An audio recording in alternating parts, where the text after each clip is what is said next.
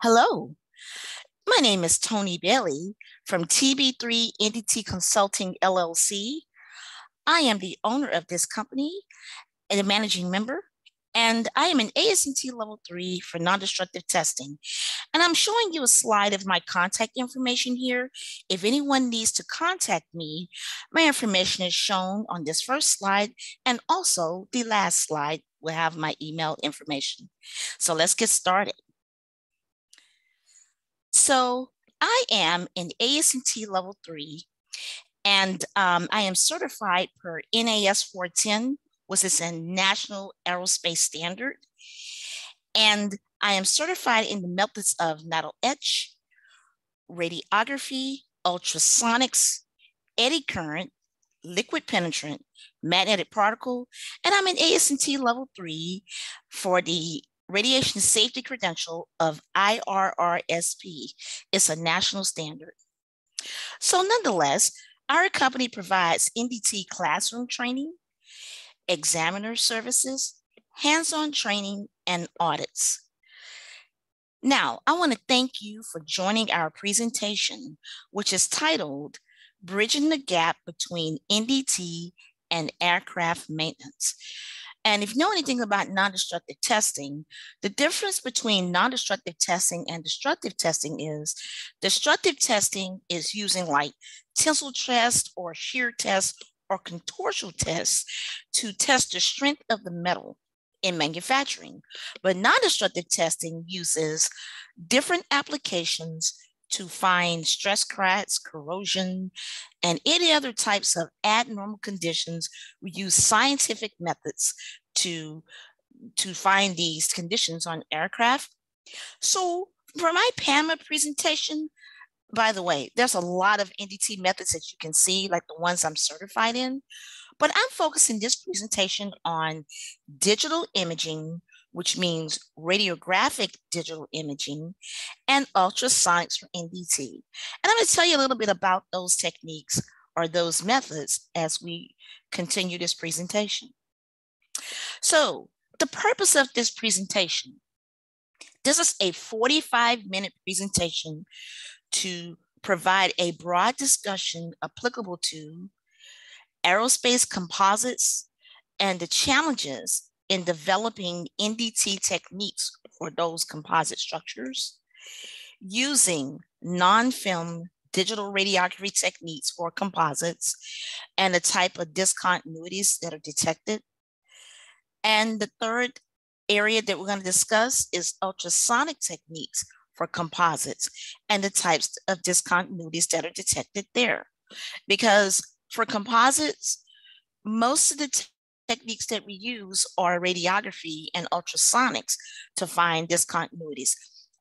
I'm using this presentation to share with you guys that we're using advanced non-destructive testing techniques as opposed to the older conventional techniques, which I will discuss in the presentation as well. Now I said this is a 45 minute presentation approximately.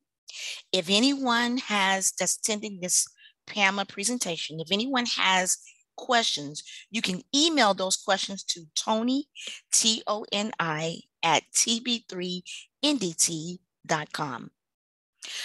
So buckle your seatbelt because we're going to go on a journey and it starts right now. So for FAA applications for in-service aircraft, I'm going to focus this discussion specific to inspecting corporate jets, as you can see here. I'm gonna use a little bit of annotation here to kind of highlight some areas. Corporate jet inspection, military aircraft, like this F-15 fighter jet shown here. And as a US Air Force veteran, this is an aircraft that I worked on a lot in the Air Force. And we inspected, you know, wing tips, flight controls, the vertical and horizontal stabilizers there. Um, those are composite structures, even this area of the canopy, and also some areas of the intake. So pretty much, I don't want to say like 70% of this aircraft is composite. And a lot of corporate jets are composite too, which is why NDT inspection is so important for these aircraft. For commercial airliners, to make them more lightweight and aerodynamic, we also uh, are manufacturing those out of composite structures, pretty much the same areas as military aircraft. And also, I threw this in about engines. Aircraft engine coverings, which we call cowlings, are made from a lot of composite structures. I'm going to talk a little bit about that as well. So here we go. Let's go to the next slide. Now, what are composite structures? You may ask yourself. Composite structures are areas of the aircraft that or metallic attached to another metallic, we call that bonded, or made of different layers, such as, and let me use my tool here to show you these, to highlight these areas, Kevlar, honeycomb sandwich structures. And this is a Cessna Citation 10 right here. You can see this area right here down below. Citation 10 airplane figure. The red areas are made of Kevlar. And so that is a, um, a man-made material that could be layered together to make a structure. The yellow areas are graphite honeycomb composites. Sandwiched together means that you take several layers and bond them together. Generally, adhesive bonded areas are the orange areas. And that means you take a couple of thin metal materials and glue them together, um, as shown here in the green as well. Fiberglass materials is in light blue aluminum skin, very thin, like 25 or 12 thousandths bonded to honeycomb, or even just straight up Kevlar. So as you can see, we have a lot of areas that are very lightweight on this aircraft here, this corporate jet. Here's a picture of what I was talking about. You can have a thin aluminum over here to the left. Let me use my annotation to show you like 12 thousandths, 0.012 thousandths bonded to 0.025, 25 thousandths. And this hatched area here is the glue line.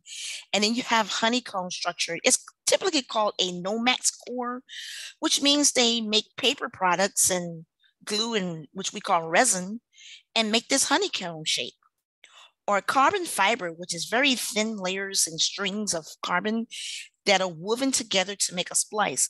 And this one right here is from a um, this is a, Sikorsky helicopter um, uh, rotating component. So it's very strong, and but it's also very um, uh, very good for twisting and turning and elongating. So it makes it easier to manufacture. Like this hybrid boron right here. This is a woven fabric that's wov- that's actually making a fuselage structure. Isn't that something? The entire fuselage right here is made of this woven fabric. I remember one time I was inspecting one of these aircraft that was made from this hybrid boron there, and strings of layers was hanging from the wing and I didn't even know what it was at the time. So as an NDT person, I said to myself, what in the world am I inspecting? I have to come up with a good technique to find the delaminations and the damage to this inspection. So, excuse me, damage to this aircraft wing. So what are the challenges in inspecting composites? Well, we in NDT still have a learning curve for NDT of composites.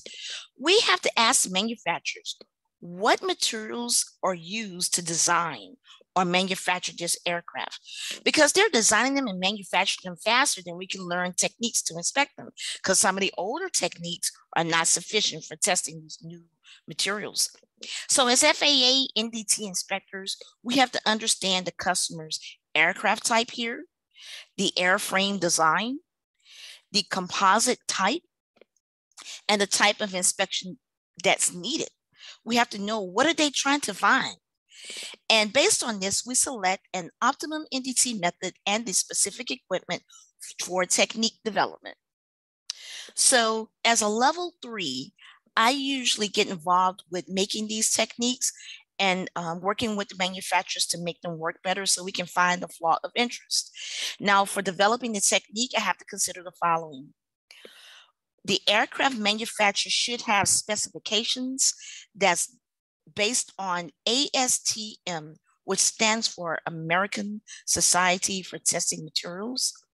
So the aircraft manufacturer goes to the ASTM and says, what is the standard for these different composites. And there was also what's the standard for the technique. And they should make a how-to procedure for us to utilize to inspect this composite. But sometimes they don't because they don't have enough information themselves. And I'm talking about the manufacturer of the airframe. Now, the type of composite material and how many layers, because the more layers, the more difficult it is for the technology we're using to penetrate and find the flaw of interest. Is the component curved? Is it flat? Or does it have a lot of geometry? Because if there's a lot of geometry, the more difficult it is to inspect these parts. And also, what is the final use of the composite component?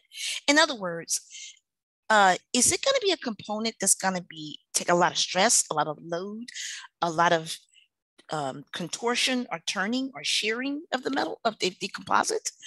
Does it have a probability to fracture? So therefore, you know, the techniques that I that I'm selecting, I have to say, well, if there's fractures in this composite, am I going to be able to find it with conventional radiography or ultrasonics, or do I need to use another technique? So what is my probability of detecting the flaw? Well, that determines the equipment. And am I going to use radiography, ultrasonics, or another technique that's more sensitive because they're coming out with other things that's better, like shearography testing or thermography. And maybe I'll show you guys something like that next year if I'm invited to present. So for the equipment that I've selected, I need a calibration standard. The calibration standard tells me, do I have enough sensitivity using this test to find the flaw of interest? Am I going to use a probe or a scanner to find the flaw of interest? Meaning for ultrasonic, do I use a a probe that uses wet techniques or dry techniques? And is the scanner sensitive enough to find the flaw of interest? So what is the type and size of flaw that I'm trying to detect? The location and the orientation of the flaw. Now, some of these terms may be foreign to you guys, so I'm going to show you guys exactly what I'm talking about coming up. For radiography, for the equipment selection, radiography uses an X-ray machine, or we can use something called gamma, which is a um, it's, it's a radiography source that never turns off. It's a source of radiation. Now, if I'm using a camera or a machine, we can turn it off. And the radiation source penetrates the specimen, and we can use, we can capture the information by using non-film techniques, which we call digital radiography, or film techniques, which are using conventional film just like at the hospital.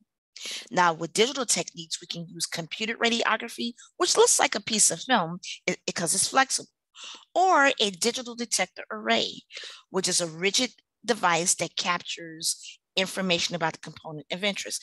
Just like the technology that you guys see at the hospital, you know, when you go in to get your, you know, dental work or maybe an image for yourself. Like a CT scan, a CAT scan, or a PET scan. It's the same technology. For ultrasonics, we can use contact testing.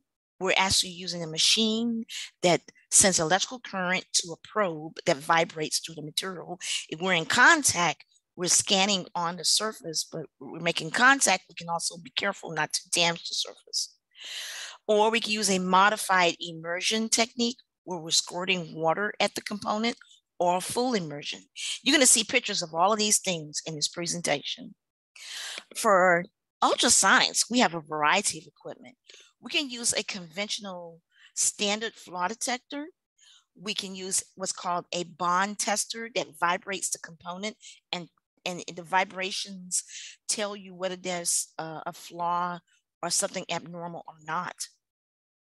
We can use something called a C-scan where you actually get a map of the flaw or something called phased array, P-A-U-T phased array ultrasonics, and that can be contact or non-contact. So we're going to see these applications in some videos coming up. Now, when I'm determining the scanner and the calibration standard, well, for radiography, it's a dry test. I take a piece of film, put it on a component, and use an X-ray machine to to capture the information. Um, For A scan or conventional ultrasonics is typically a wet test. Whether the part is, I just take a um, gel, ultrasonic gel, and I use a contact test, or I can squirt water or immerse the entire component in water. The bond tester can be wet or dry.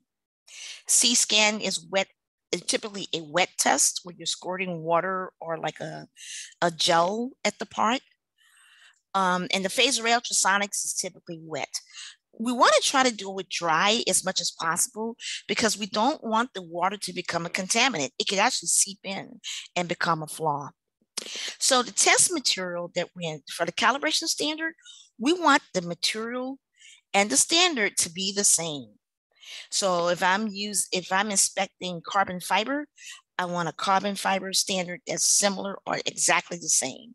If it's honeycomb, it needs to be a honeycomb standard.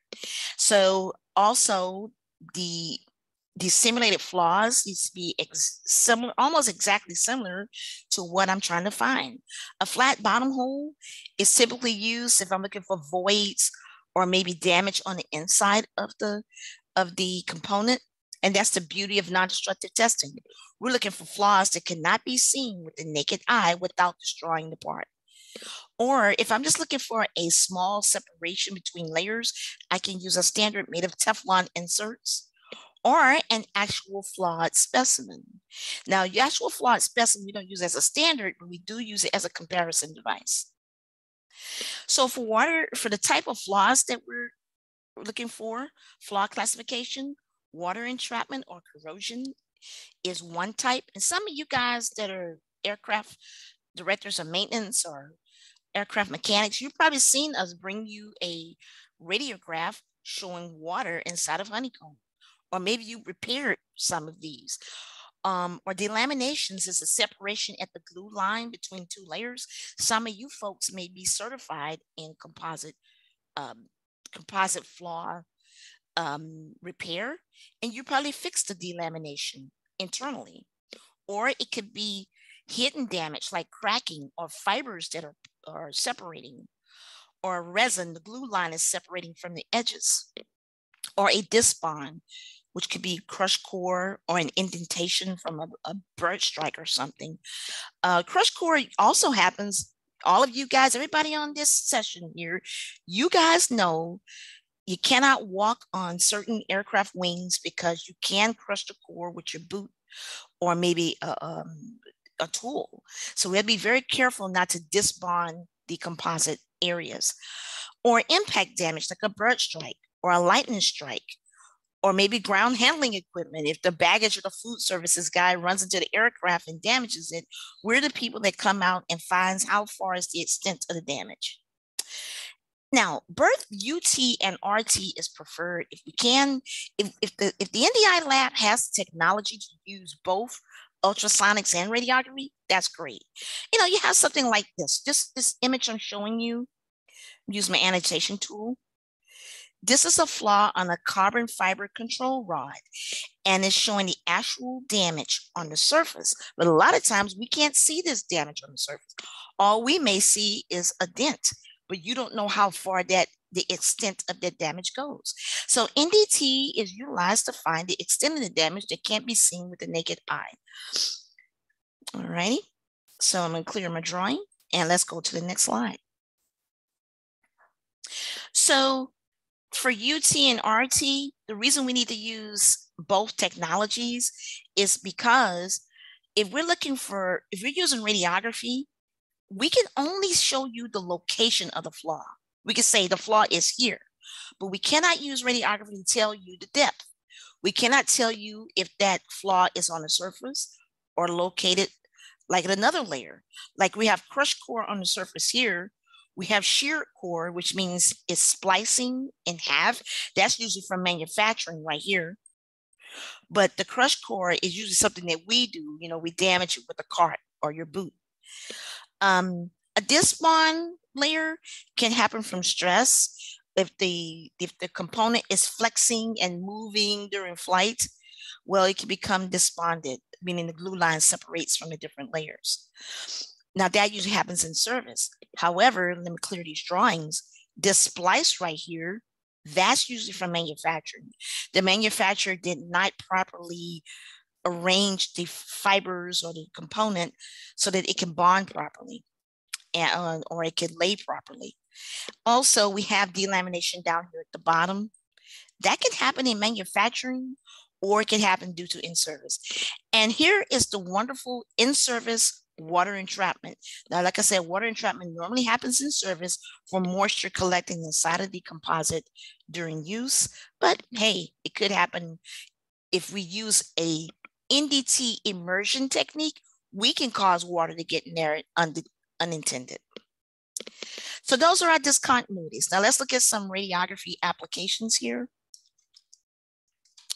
All right, so the first application radiography well, like I said earlier, we can use film radiography. Conventional film radiography is using an X-ray source film. And so therefore, the X-ray source sends ionizing radiation, which is an invisible beam, through the component. It moves the atoms in the material, and that energy is captured on film just like at the hospital. And then we chemically process, which the, the film, which may take eight to 11 minutes. And then we view the image on a light box. So I'm gonna show you that in the next slide.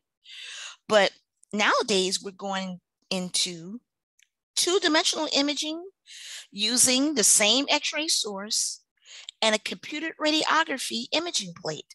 So the, the, the computed radiography imaging plate is just like a film, except you're using a scanner. You take the imaging plate and you scan it, and you're able to view the image on a computer.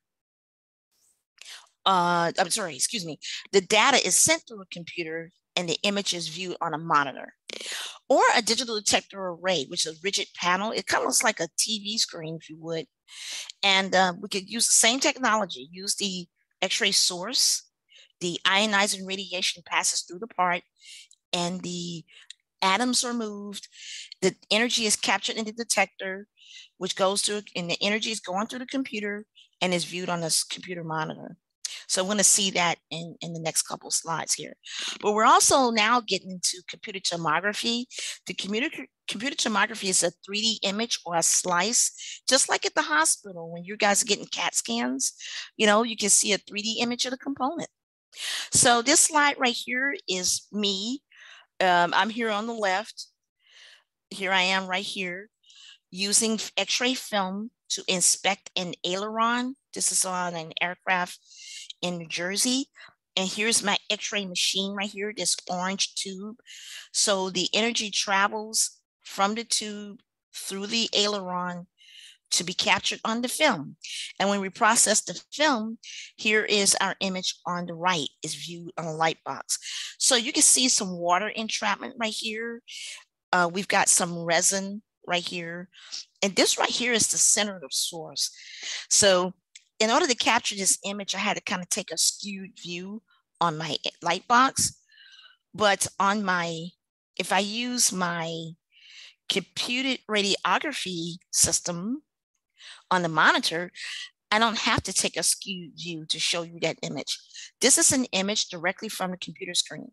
And look how clear that looks. You can clearly see the water cells and also other water cells here. Let me just get rid of that there, water cells. And also the resin is very clear. So the lighter areas is the resin or the glue line that's intended.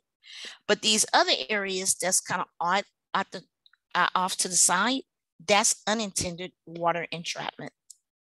So as you can see, using digital radiography, you can get clearer images and is better shown on a computer screen than a light box. So for radiography, we're typically looking for crushed core as shown here on the left, um, and also a little bit of damage from the top. So we can show crushed core from the side and crushed core from the top um, with radiography, but we cannot tell you the depth. That is the issue there. So here's an image of me providing training at Gulfstream Aerospace. So this is a cassette. Let me just show you with my tool here. Here is the cassette. There's film inside of the cassette. actually, I believe we're doing computed radiography for this one. So there's um, an imaging plate inside of this cassette to protect the imaging plate. And this is an airframe spar. And then we're showing the distance to the x-ray tube. So this image up here is the x-ray machine. And we all leave the room, close this door over here, push x-ray on, and the energy from the beam passes through the component and is captured on the imaging plate. Now, of course, I do have images of that wing spar, but since we're talking about composites, let's take a look at a composite computed radiography image. So this is a computed radiography image from a, a um, composites manufacturer. And on the left side here, you can see the structure is clear. Basically, other than, but these are some artifacts over here. These are fingerprints. These are called artifacts, but pretty much this is a pretty clean area. But if you go over here to the left, to my left, you can anybody can see that this composite is wrinkled. So the manufacturer was squeezing this component together to try to make it fit, and there he ended up with wrinkles, and that is not acceptable. But we also have some holes, and some of the core is splicing a little bit, and we have some wrinkles over here. And we also now this over here, this is normal these areas over here, that's normal structure. So as an NDT person, you have to know the difference between what's acceptable and what's not acceptable. Um, for digital detector array, I was telling you guys about that. We're using, we are using um, digital radiography. This is a digital detector array technique. And let's see if we can get this thing to go. So there we go. So we're using real-time radiography to inspect this. Um, this is a helicopter blade, a composite helicopter blade. We're looking for voids between station numbers and the cords. So we numbered the cords on the helicopter blade. We numbered them from zero to, I don't remember, I think it's like 140. And between splices 100 and 105, you guys can see this real-time digital detector array, there's a splice there. Whether they intended to put it there or not, all we do is find it and tell them that it's there, and the manufacturer will determine whether the indications meet or exceed their requirements. And see here in 115 to 120, there's a splice there. But like I said, the manufacturer will let us know or determine whether that's acceptable or not. And let's just go all the way down to the end here. Oh, this one is actually beyond 140. So we went a little bit further there. This is component, how it's made, splices there, and the other resin shown here. So like I said, this is called rigid panel digital detector array um, using radiography. And that's really cool because it's real time there. So now, stand by one moment. All right, let's go to the next slide here. So now for ultrasonic applications, we talked about radiographic applications, and you can see that we can tell you where the flaws are, but we cannot tell you how deep they are. So the wonderful thing about ultrasonics is it can tell you where the flaw is and the depth of the flaw. Now, if we use conventional contact testing, like I said earlier, the search unit is placed on top of the specimen right here. Um, for contact testing, that's great because it's kind of fast and it's easy and anybody can learn how to do it. So you can see the electrical current is passing from the transducer and it's traveling through the part right here and it bounces back for a return signal on screen. The problem is we have the, the signal, which is the back of the core, but we also have noise in between. So the sound is bouncing around inside there and um, it gives you unwanted false indications. Um, now, if we're looking for a flaw like delamination at the top of the core, it doesn't allow the sound to transmit. So maybe that's easy. But if we're looking for flaws throughout the specimen, we may have a problem. So now we got to use a different technique like resonance testing. This is using a bond tester. In this case, we're using the Olympus BondMaster machine. So we have a choice. We can use a wet scan or a dry scan. So this first technique is the wet scan. I'm using a conventional ultrasonic transducer that's shown here. This is a calibration standard here with Teflon inserts. It's, it has artificial flaws. These white square blocks are my artificial flaws there at each layer. Well, why do I have them at each layer? Well, I have them at different depths so that when I'm doing the actual inspection, depending on my screen, I can compare it to the standard and determine approximately what depth or what layer the flaw is in. Um, and also I have, I can make it for different sizes. So I can have these Teflon inserts, different sizes, different layers, and also different designs to match the flaw of interest. So for the actual inspection, once I calibrate, I've calibrated the machine to show good areas and, and, and areas that we don't want. So we have, what we do is we calibrate and we null the instrument in air. We take the transducer off and we null it. So the air signal looks like this, this dot right here on the screen.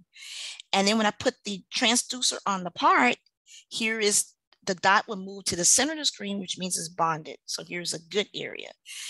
And if the dot moves off to the side in different quadrants, one to five, the quadrants one to five match the Teflon inserts one to five here.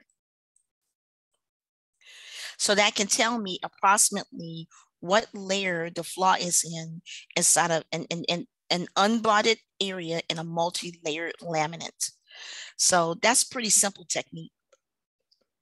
So that's the, the, the, type of screen we would have for a wet test. For a dry test, we can use many different styles of probes. And I'm going to show you a couple little videos here. The, the frequency that we're using, see, as an NDT inspector, I have to choose the appropriate frequency that can penetrate through all those layers and find the right flaw. And if I'm using a dry test, um, I have to be conscientious of the scanning technique. I make sure I have overlap. Well, really, we do that for wet and dry, but I have to be careful I don't scan too fast. So I have to control my scan speed, how many passes. I have to scan my indexing, which is my overlap. Use the same calibration standard as the flaw that I'm trying to find and evaluate it and compare it to, you know, my cal standard. So on this picture I'm showing you here is comparing a good area. This is my dry probe that's scanning over a good area compared to a disbonded area. So on the my left side, this is called a pitch catch probe. It transmits sound to the material and so you see the sound traveling through the material, but it only goes so far. So if I lower the frequency from 100 kilohertz down to five kilohertz, I may actually be able to penetrate the backside. So the thickness of the specimen tells me the frequency that I'm going to use for my technique.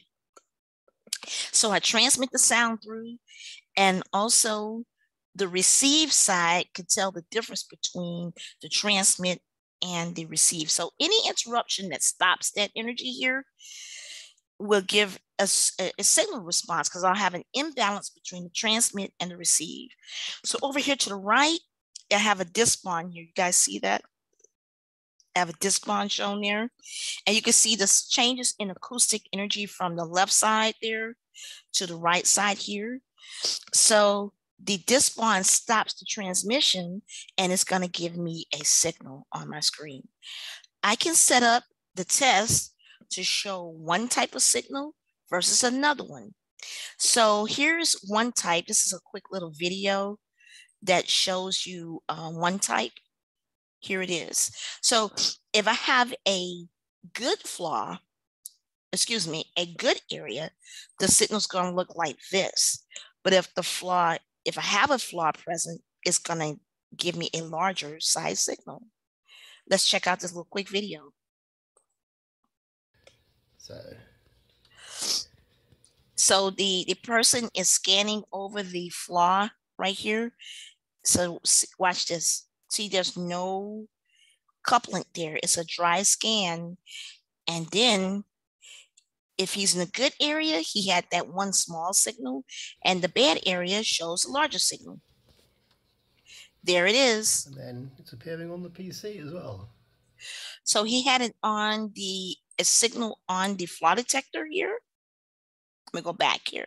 Here we go. Then it's appearing on the PC as well. Let me go back one more time. This is showing on the actual flaw detector. And then he has it connected to a PC computer.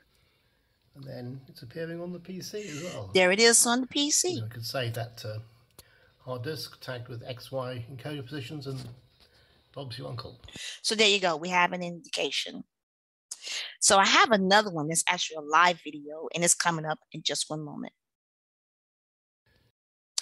So, you know, that was one type, uh, it's called a RF signal. Um, so that RF signal showed me the top and the bottom or small size, medium, large signals. But this impulse technique is actually pretty sensitive. We're gonna see a quick video of the signal changing from the top of the screen to the bottom of the screen. And if the flaws are bigger, we're gonna have a larger size signal. And the smaller the size, the smaller the signal. So small signal versus large signal. And if we have a trace that has no um, indications, then that means the area is good. Here's the video coming up on the next slide. Let me just set us up here. And here we go. Okay. We are recording now. Okay, we have one inch of composite, armor composite uh, from the Navy. Have two inch, one inch, and half inch holes. I'm running at 45 kilohertz. And here we go. We'll see if we can find, whoop, there we go.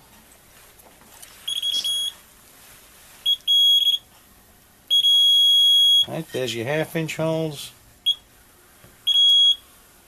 Your one inch holes. I'll do that again so you can see the screen. Okay. The one inch holes and as the depth varies, let's go back to the half inch holes. As the depth varies, the height of the indication will, will vary as well as the amplitude and phase, the amplitude and the phase change. And in the two inch holes. Whoop. Bingo.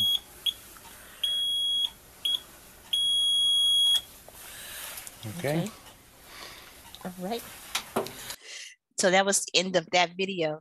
And so this video was actually myself and my good friend and mentor, Mr. Ed Dukic, who is, he was the original co-author of this presentation. I made this presentation for the IA a few years ago, and I've been modifying it over time, you know, to add more advanced technology. So we co-authored this just on ultrasonics, and then I added more information on radiography. So thanks so much to Mr. Ed Dukic from Level 3 Resources, a good friend and a mentor. Okay. So here we go. So we started off this presentation development. You can see us there, co-authors down at the bottom there. Um, we started this presentation development just to focus on ultrasonics and composites, but over time, since I think it was 2011 when we made this presentation, we've actually been developing some more advanced techniques and applications. So let's check this out.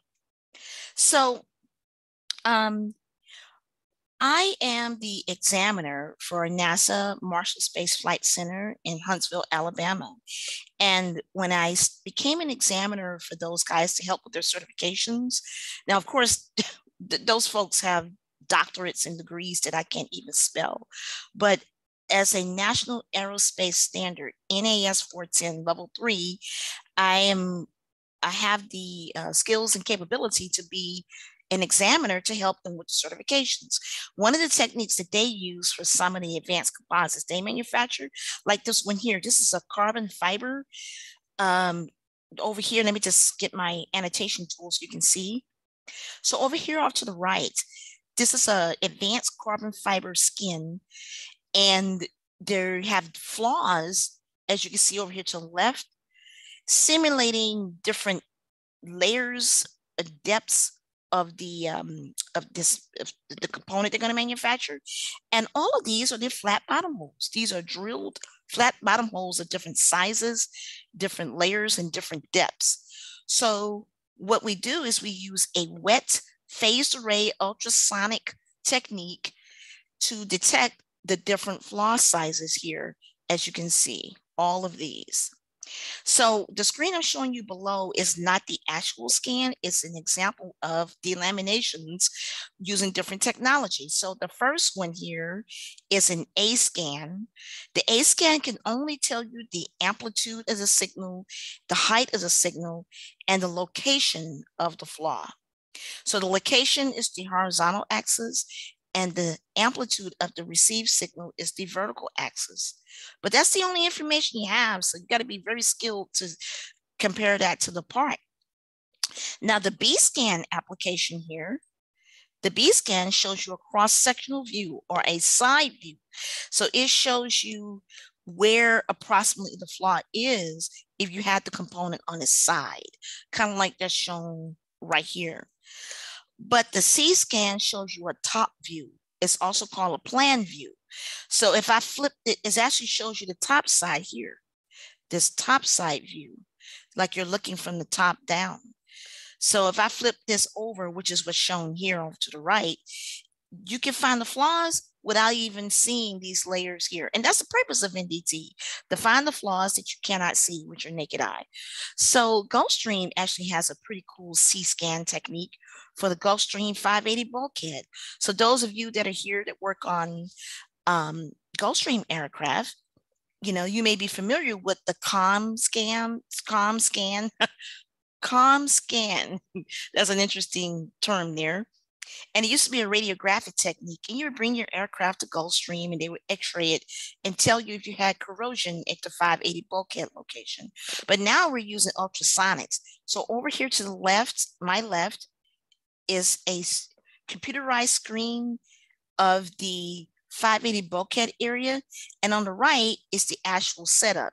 This is my good friend. Daryl Fuller, who's performing that test and who helped develop these mouse inspection, the MAUS uh, uh, mouse inspection technique. So now back to NASA. So NASA has developed some really cool advanced techniques like this wheel probe application. You see that this is a wet test using phased array.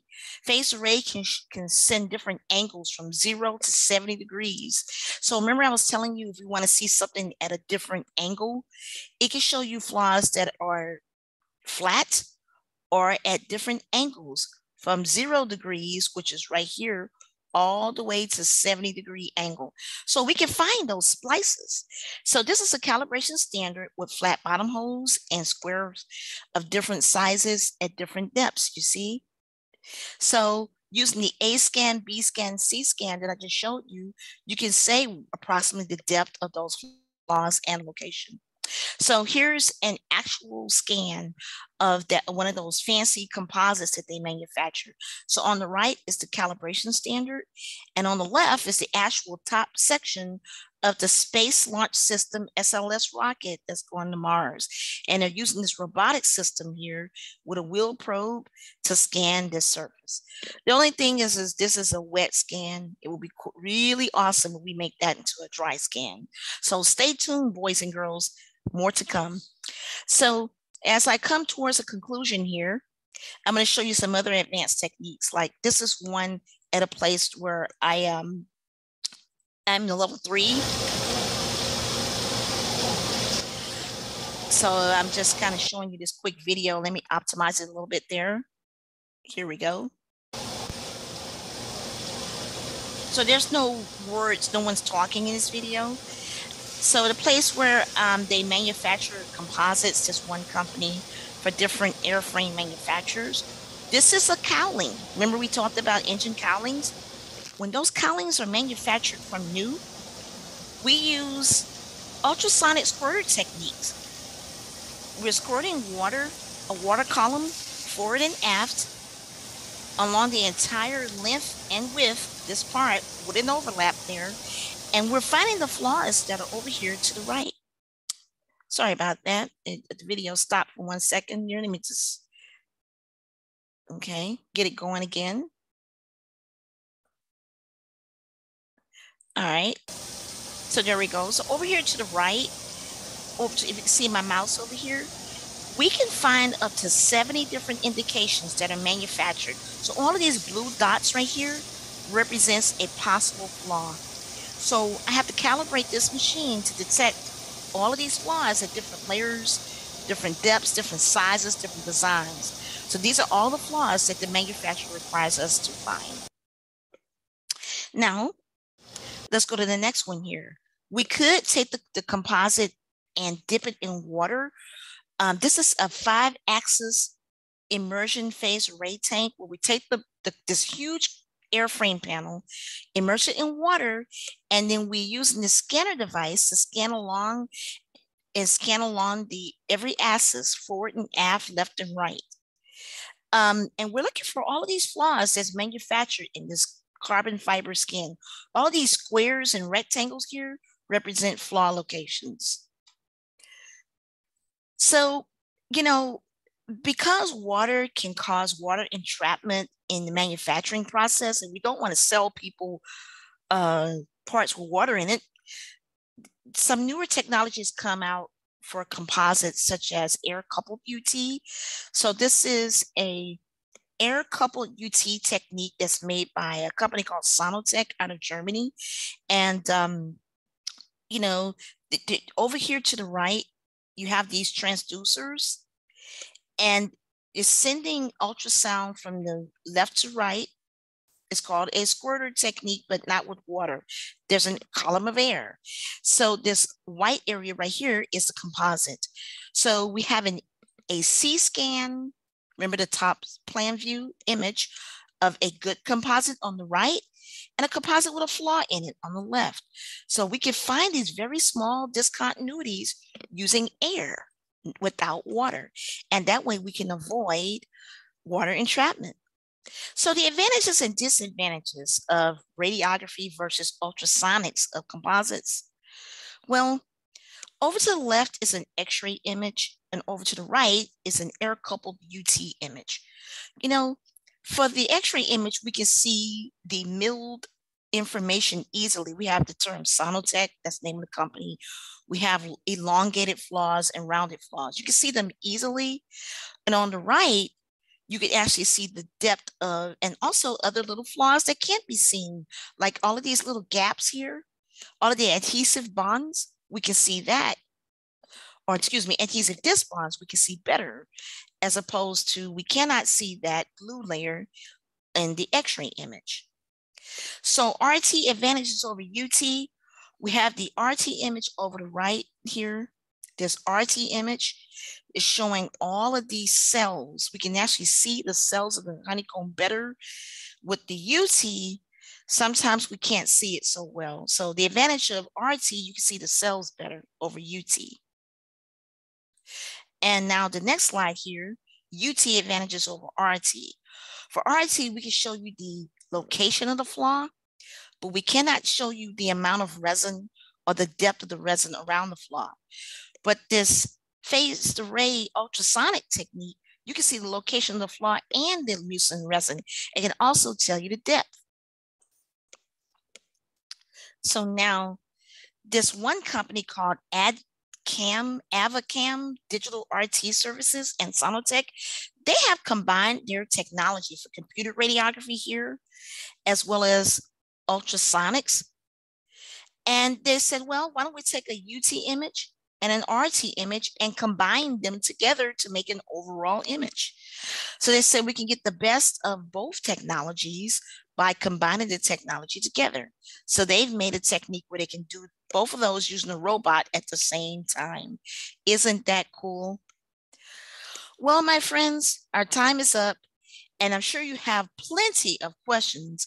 Many of these terms that I've used may be, you know, a lot of questions on your brain now. So therefore, I just want to offer our information. If you need to contact us and ask us any questions, just send an email to Tony at tb3ndt.com. And you can visit our website, www.tb3ndt.com for more information on TB3NDT. Thank you so much for coming. Have a great day.